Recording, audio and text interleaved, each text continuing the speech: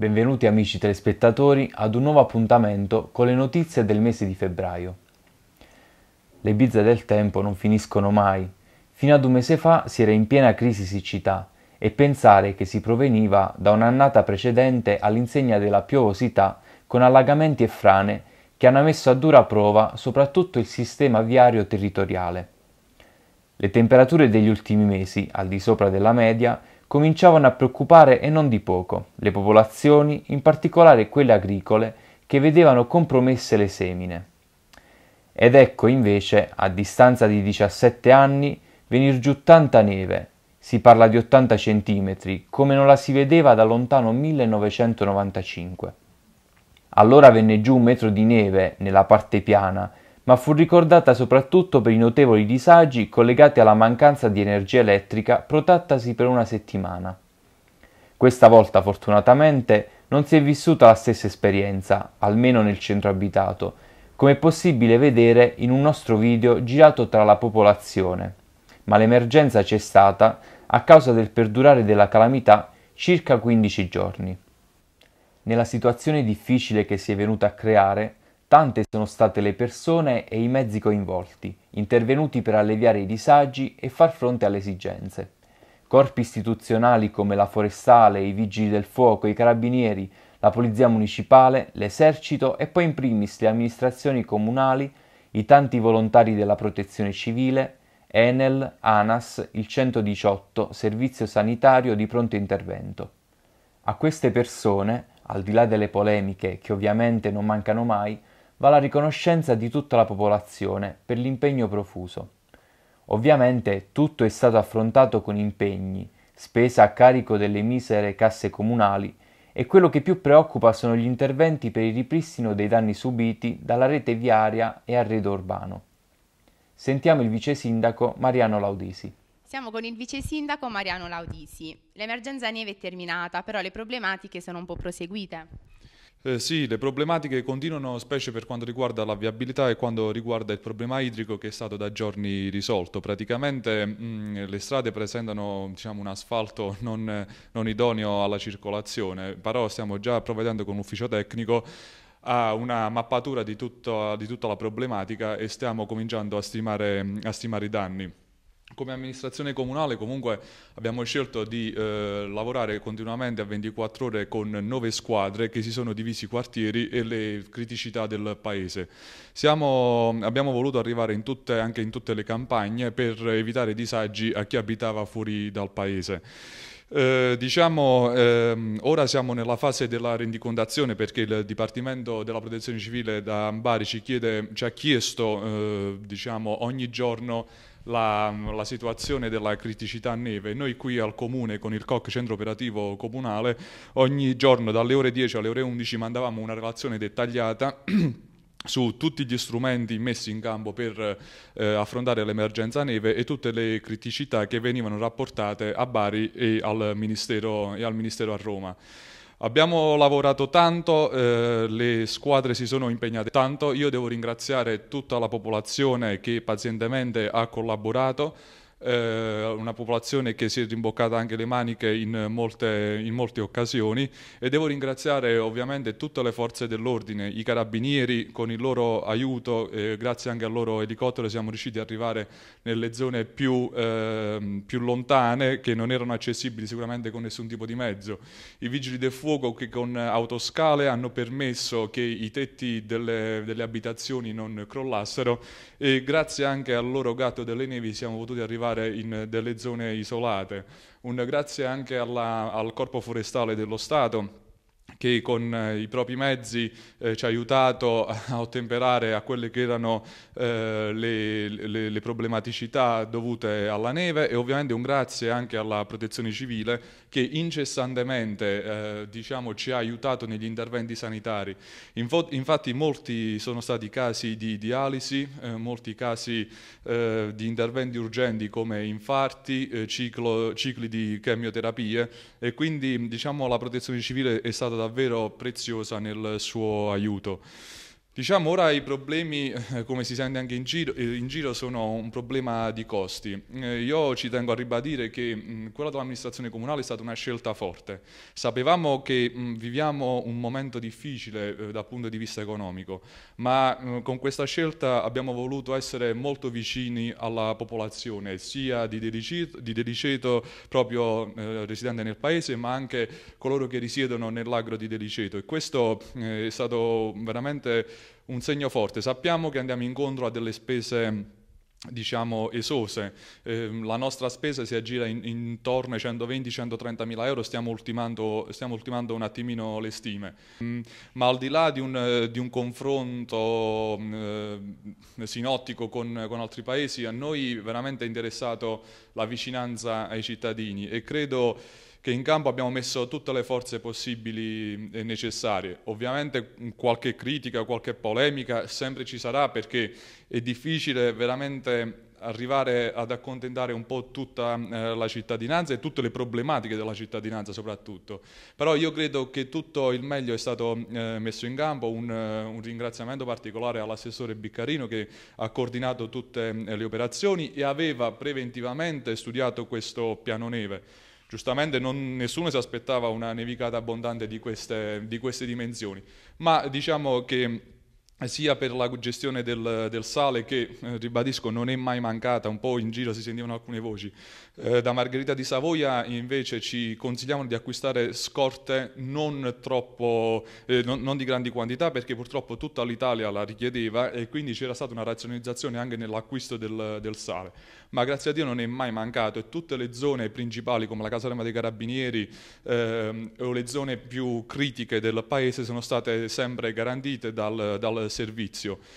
Le ditte stesse eh, ci denunciavano un po' questa, eh, diciamo questa, caduta abbondante di nevicate perché quando passavano con i mezzi dopo dieci minuti ci dicevano eh, purtroppo qui si è ricoperto di nuovo. Noi siamo stati al loro fianco, li abbiamo rincuorati, loro ci hanno rincuorato perché hanno fatto davvero un lavoro esemplare anche mettendo molte volte a repentaglio la propria sicurezza. Abbiamo avuto occasioni in cui in alcuni quartieri era difficile davvero arrivare. E, e un grazie di cuore davvero alla, alla loro caparbietà e alla loro voglia di, di lavorare. E io um, dimenticavo un, uh, un, ringraziamento particolare e un plauso, un, un, esempio da seguire sono stati quei ragazzi eh, di cui ovviamente eh, non conosco ad uno ad uno i nomi, ma veramente un grazie di cuore da parte dell'amministrazione comunale perché hanno dato una mano a spalare la neve, specialmente nel centro storico, e questo gli fa veramente, gli fa veramente onore, tanto di, di, cappello a questi ragazzi che hanno dato un grandissimo esempio da seguire per tutta la, la popolazione di Sicuramente, i giovani sono stati presenti nonostante si dica il contrario. Bene, noi non possiamo che augurarvi buon lavoro, che le cose si sistemano il prima possibile. Sì, eh, sicuramente adesso bisognerà pazientare un attimino per fare la stima un po' dei, dei danni e poi speriamo di ripristinare subito mh, per quanto concerne la viabilità.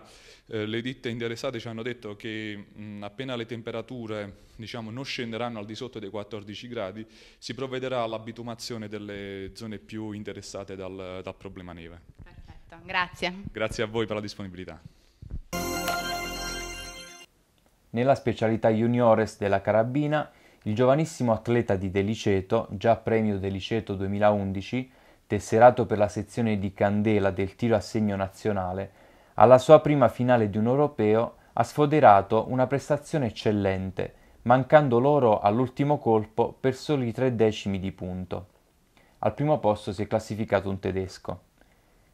Il baby tiratore aveva già dato saggio delle sue capacità a settembre dell'anno scorso quando aveva conseguito due medaglie d'oro a Milano ai campionati italiani giovanili. La redazione di Deliceto TG Web, a nome di tutta la comunità delicetana, esprime viva soddisfazione e auguri per altri importanti traguardi. Lo spazio e Dio. Questo è il tema della conferenza organizzata a Roma giovedì 23 febbraio presso il Teatro Argentina a cura della Diocesi di Roma, Ufficio Pastorale Universitaria Ministero dell'Università, dell'Istruzione e della Ricerca. Sono intervenuti il professor Antonio Zichichi, Roberto Vittori, astronauta, Introduzione e saluti a cura del professor Jean-Jacques Dordain e del nostro concittadino professor Antonio Viviani. Appuntamento con tradizione e folklore sabato 25 febbraio. Posticipata per motivi logistici la 33esima edizione del Falò di San Mattia. Non capita spesso di organizzare un evento con tanti ingredienti e non solo culinari. Ed è quello che ha caratterizzato questa edizione dei Falò in onore del compatrono di Teliceto San Mattia Apostolo. Al calore e all'effetto scenografico che l'accensione produce, con vicoli e interi rioni rischiarati dai bagliori del fuoco, con i sapori della gastronomia tipica locale che inebriano il paese e il palato dei tantissimi curiosi appassionati, giunti da ogni parte della provincia e non solo, come i tanti camper provenienti da diverse località dello stivale. La manifestazione per la cronaca è stata pubblicizzata dalla rivista In Camper. Approfittando anche della giornata prefestiva, ha visto la partecipazione della principessa Amelia Izzo d'Aragona, inviata come madrina dell'evento, e la presenza di un gruppo di 50 persone con in testa il sindaco, amministratori e associazioni di Rignano Garganico, i quali hanno ricambiato la visita alla comunità delicetana per via di un gemellaggio in atto tra i presepi viventi delle due località. I falò in gara sono stati cinque, molti altri hanno partecipato fuori concorso.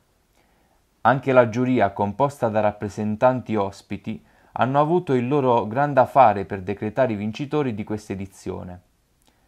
Ogni falò è stato allestito a tema, come quello nero-azzurro del rione Borgo Gavitelle, nel quale si chiedeva l'intercessione di San Mattia per sollevare psicologicamente la tifoseria, oppure il falò povero del rione Fontana, lo spazzaneve del rione Molo e tutta l'organizzazione teatrale messa su dal rione San Rocco con il gruppo Ora Folk. Si sono classificati al primo posto il Rione San Rocco, secondo posto Rione Fontana e terzo Rione Borgo Gavitelle. Un sentito e doveroso ringraziamento, la Proloco Deliceto, lo invia all'amministrazione comunale, alla protezione civile, vigili del fuoco, vigili urbani, carabinieri e a tutti quei commercianti che offrendo alcuni prodotti hanno contribuito alla riuscita della manifestazione al parroco Don Leonard Camanzi per la disponibilità mostrata nella benedizione dei vari falò. Un grazie di cuore va agli organizzatori che con la loro disponibilità contribuiscono a mantenere viva una delle tradizioni più antiche di Deliceto. Deliceto si conferma paese di longevità. Infatti, dopo i festeggiamenti del mese scorso della signora Maria Antonia Ingegno, che ha festeggiato 102 anni, ha tagliato il traguardo dei 100 anni, il 24 febbraio scorso, la signora Maria Donata Chinni, detta Donatella, vedova Nicastro. Vediamo il servizio.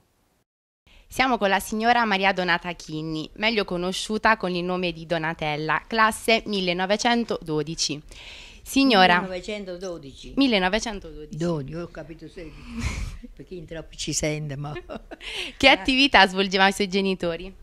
Come? I suoi genitori che attività, che lavoro facevano? Eh, mio padre è morto in guerra, mi è rimasto di due anni a me. Eh, c'è quasi cento anni che è morto mio padre. Mia madre rimase con cinque figli. Eh, certo che... E ha sostenuto lei la famiglia? Eh. E lei che classe ha frequentato? Io? La classe che ha frequentato? A scuola? La, a la scuola. quinta, la, La quinta, quinta quinta elementare. elementare, sì. E a quanti anni si è sposata? A 22 anni, mi sembra, 22 anni. Quanti figli? Quanti figli? Tre figli, tutte e tre femmine. Ha sempre svolto questa attività? Abbiamo sempre il negozio di tessuti, sempre dietro al bancone, a, a Napoli, a, sempre a fare spese in giro.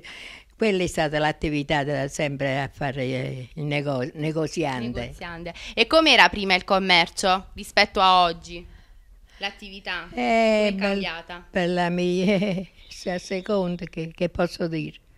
Sono tutto cambiato, ma sì, i clienti, per esempio, tanti clienti, adesso la vendita è di, di meno, adesso non ci sto più, questa mia figlia. I clienti prima era gente facoltosa o gente del popolo? E insomma, certo, c'è la persona che capisce, si mette alla ragione, c'è la persona che a secondo. Eh. E cosa si vendeva di più? E la biancheria. La biancheria noi abbiamo sempre roba speciale, sempre siamo stati i primi per la... Per il tipo di merce eh, che avevate. Eh sì. Il segreto di questa vita così lunga, cos- cosa augurate agli, ai giovani per arrivare a fare così tanti anni? Bella amica, questo non vi posso dire niente. Ho sempre lavorato, sempre la casa mia, mia e mio marito, poi i figli. Non siamo andati mai in giro, per esempio, come vanno le persone a ballare. Mai. Siamo stati sempre il giorno al negozio, la sera si chiudeva, ci stavamo in casa, si mangiava, e poi la televisione passa. Nell'ambito delle manifestazioni culturali della sezione di Deliceto dell'Uni3 Università delle Tre Età si è svolta mercoledì 29 febbraio 2012 nella chiesa di Sant'Anne Morti di Deliceto la presentazione del libro Bella come il paradiso, grande come il mare di padre Gerardo Saldutto. Dopo i saluti della direttrice dei corsi, Beatrice Inneo, e della professoressa Rina Di Giorgio Cavaliere, presidente dell'Uni3, Unione dei Comuni dei Cinque Reali Siti, la professoressa Nives Mascellari ha presentato il volume del Cappuccino Delicetano. La manifestazione è stata moderata da Michele Campanaro, presidente dell'Uni3 di Deliceto. Bella come il paradiso, grande come il mare, è il racconto della costruzione della chiesa di San Pio da Pietralcina a San Giovanni Rotondo. Un diario di bordo con le sue luci, le foschie e gli ostacoli, ma tanta voglia di fare per realizzare una basilica museo, dalla cappella dell'Eucaristia e il suo tabernacolo, all'organo nella chiesa superiore, agli aquilotti in pietra, alla croce in bronzo e l'altare, gli archi in pietra, alle porte di bronzo, all'ambone di pietra e alla grande croce in pietra. Al giorno d'oggi, con una crisi economica mondiale, con una disoccupazione galoppante, parlare di beneficenze o benefattori è davvero fuori dal comune. Con la mente si corre indietro nel tempo e si pensa a generosi concittadini che hanno lasciato traccia indelebile con i loro gesti. Alessandro Mazza, Giuseppe Bonuomo, Giacomo Casati, giusto per citarne alcuni. Eppure, ancora oggi, è possibile trovare gente di animo gentile, che mette a disposizione della collettività il proprio operato, il proprio impegno, le proprie risorse per fini nobili. La benefattrice del 2012 si chiama Filomena Sannella, nata e vissuta a Deliceto, ma per motivi di lavoro trasferitasi a Foggia.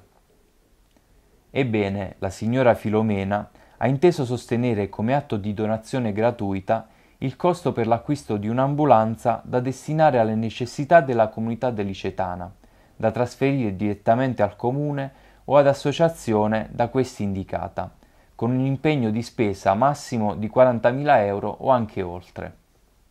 La signora Sanella Filomena ha posto quale condizione che l'automezzo rimanga nel territorio del comune di Deliceto, a disposizione della comunità delicetana, in ogni caso e comunque anche in caso in cui l'associazione eventualmente designata dovesse cessare la propria attività o essere incorporata o assorbita da associazioni poste al di fuori del territorio comunale. L'amministrazione comunale non svolge direttamente attività sanitaria. Ritiene pertanto opportuno designare un'associazione maggiormente meritevole della destinazione di che trattasi.